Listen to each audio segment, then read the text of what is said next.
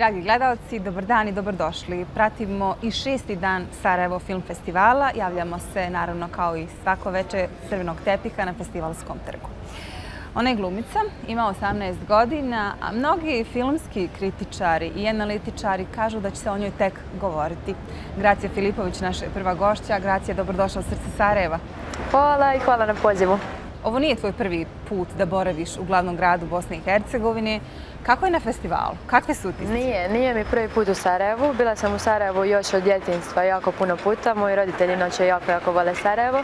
Tako da mi je nekako ovaj grad baš ostao u lijepom sjećanju još od djetinstva, ali mi je prvi put na Sarajevskom filmskom festivalu i do sada dojmovi su jako dobri. Sinoć je bila premijera Murine e, i prošlo je, mislim, jako dobro jedna od glavnih, odnosno glavna uloga u filmu, e, hrvatskom filmu Murina. Ovo nije tvoja prva uloga, nije prvo pojavljivanje na TV ekranu. Odakle u svijetu glume? E, pa ja sam zapravo počela glumiti još e, sa sedam godina, znači u Dubroviku u kazalištu Marina Držića. Tu sam odradila par predstava, među kojima su bile Hasanaginica, Ivana Lea Lema, a svoju prvu glavnu ulogu sam dobila u predstavi Prasec koji gleda u sunce redateljice Olje Lozice.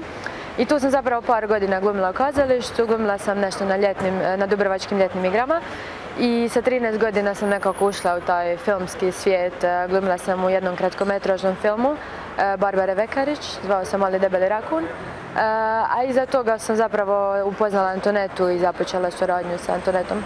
I vrhunac te saradnje 2019. snimanje Murine.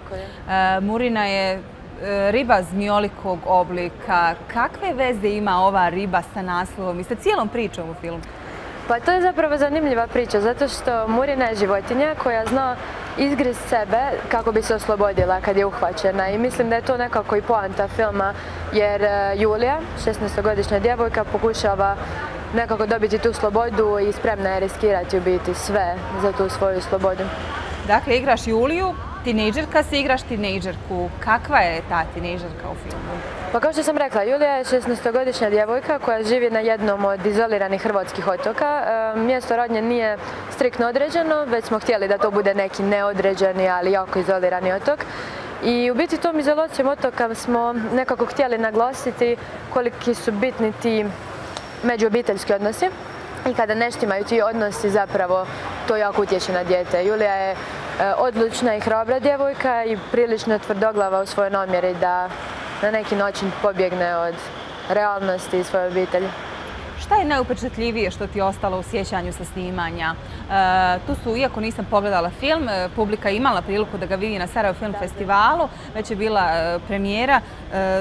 To su neke zahtjevne scene, zapravo ti si u moru, pored mora. Objasni nam malo više detalje. E, pa definitivno, definitivno su najteže te scene za snimanje morske, pogotovo kad su morske noćne scene, jer onda se znalo dogoditi da smo po noći snimali i po nekoliko sati u moru. E, meni je tu definitivno pomogla činjenica da sam trenirala plivanje 11 godina. Mislim da to ne bi bilo moguće odraditi da nisam zapravo plivala jer ima jako prilično zahtjevnih scena.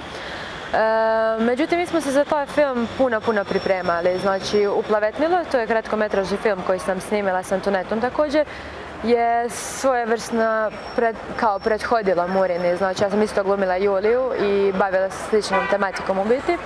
I mi se za Murinu pripremamo još od tog filma. Znači, pisala sam recimo dnevnik iz Juline perspektive. Um, učila sam roniti na boce, Učila sam loviti ribu s harpunom, e, pogotovo su bile intenzivne te pripreme sa ostatkom glumačke ekipe. Recimo, e, prije snimanja tjedan dana smo svi živjeli na hrvatskom otoku Kalamoti e, kako biste zapravo ušli u tu neku dinamiku prave obitelji.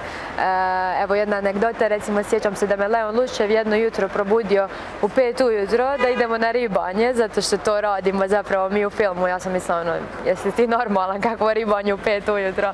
I mi smo na kraju pošli na to ribanje, tako da bile su intenzivne pripreme, ali mislim da smo postigli tu neku dinamiku prave obitelji. To se vidjelo i na filmu, evo za one koji ne znaju, e, film je osvojio nagradu na Kanskom festivalu. E, kakva je to spoznaja za tebe? Dakle, svi kažu da je to jedan od najvećih uspjeha hrvatskog filma u inostranstvu u posljednjih nekoliko godina. To jest jedan od najvećih uspjeha hrvatskog filma. Kako je bilo u Kanu?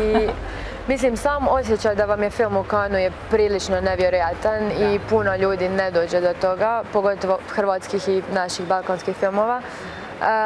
I onda još kad saznate da ste osvojili nagradu sa prvim dugometražnim filmom, to je stvarno poseban osjećaj. Uh, u Kanu je bilo predivno, iznenadio me koliko je koliko god s jedne strane bio nekako elegantan i glamurazan kan, uh, pun opuštenih ljudi koji su ono, baš imao dobru i pozitivnu uh, vibru.